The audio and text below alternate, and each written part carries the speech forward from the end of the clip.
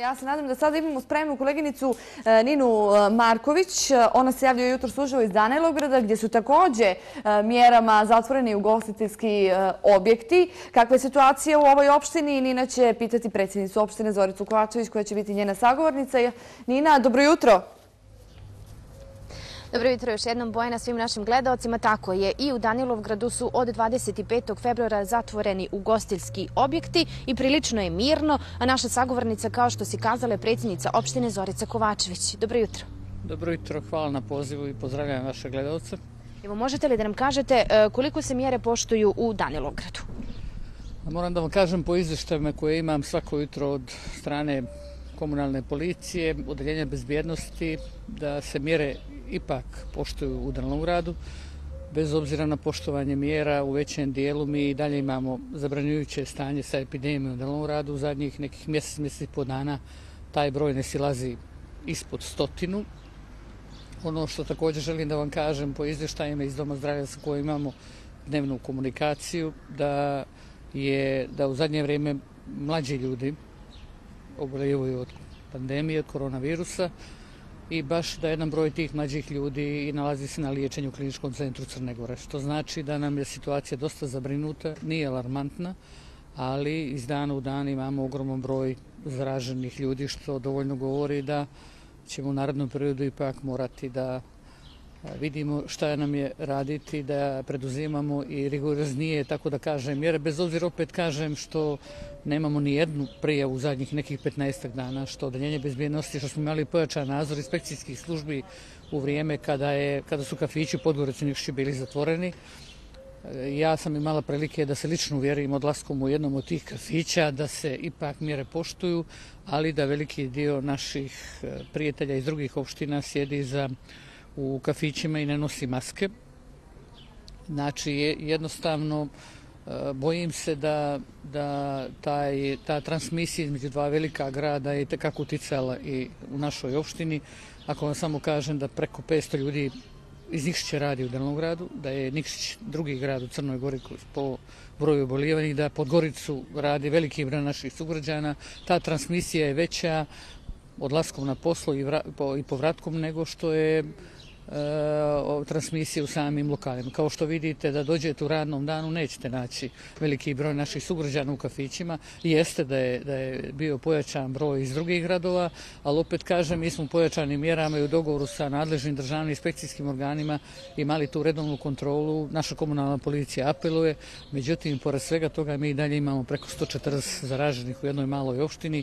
Ono što nas također obreskrbuje jeste da su to ljudi koji su iz centra grada, da ljudi koji žive, a veći dio stanovništva živi na selu, nemamo veliki broj boljelih i nažalost mi smo zadnjih par dana imali dva smrtna slučaja u jednoj porodici gdje su umrli i majke i sin, sin u mlađim godinama što također nas upućuje da virus ne bira, da bira u zadnje vrijeme mlađu populaciju i da jednostavno treba svi dobro da se zamislimo vezano za samo poštovanje mjera i znači i za preduzimanje mjera u narednim danima i mjesecima koji su pred nama. Znači i kod nas je alarmantno. Mene ovo zabrinjava ovakva situacija. Vjerujete li da sam potpuno zbunjena šta se to dešava u zadnjih mjesec, mjesec i po dana.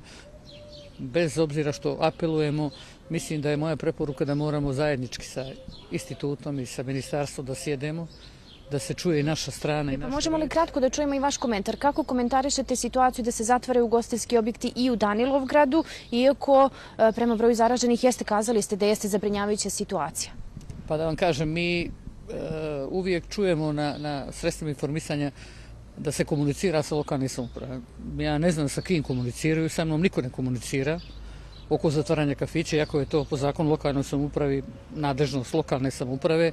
Opet kažem, bez obzira na sve to vi vidite da nije bilo, nije bilo javnog negodovanja, bilo je, bilo je tajnih internih negodovanja od strane naših vlasnika, imajući u vidu da, je, da su to ljudi koji, koji zapošljavaju veliki broj ljudi. Bez obzira na naše pomoć koju smo dali mjerama zbog ublažavanja pandemije covid i imamo mali, manji priliv u budžetu, to nije dovoljno. E, I ja mislim da, da u, jednom, u, jednom u jednoj strani imate da neko vam predlaže mjere bez saradnje i komunikacije sa vama, a u drugom dijelu morate da poštujete te mjere jer se izlažete drugim, drugim stvarima, krivičnim prijevama. Moja je preporuka bila da moramo da sjedemo zajedno sa stolom, da se dogovaramo, da vodimo dijalog, da se čuje i naša strana i ne znam da li će zatvaranje kafića smanjiti stepen obolijevanja u Dalnom gradu, neće. Neće, vi, vi, vi ćete, evo, pratite, da ako budemo pratili taj, taj trend porasta, moramo da, da konačno utvrdimo koji su to razlozi zbog koji su doveli do ovakvog porasta broja.